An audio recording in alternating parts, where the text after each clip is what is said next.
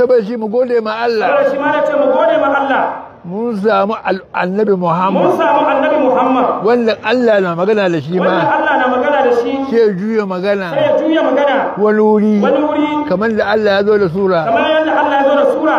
Bakabo ne ya zo wurin annabi. Makawo ne ya zo wurin annabi Muhammad. Abdullahi ibn Maktumi Abdullahi ibn Maktumi ya zo wurin annabi. Ya zo wurin annabi. Ya musulunta. Ya musulunta. Ya zo wurin annabi. Ya zo wurin annabi. Manzo Allah kuma ya shagala. Manzo Allah ya shagala yana wa'azi. Yana wazi ga shawannin manyan kafiran annaba manyan kafiran annabawa.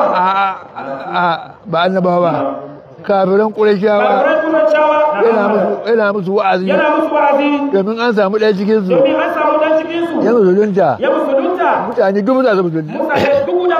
Musulunta. Manzo Allah ya shagala. Manzo Allah ya shagala. Ina musu wa'azi. Yana musu wa'azi. Sai wanga makafin nan. Don wanga makawon nan. Sai ya zo wurin annabi. Ya zo wurin annabi. Ya rasulullah ya rasulullah allimni ma allamaka Allah. Allimni ma alamka Allah.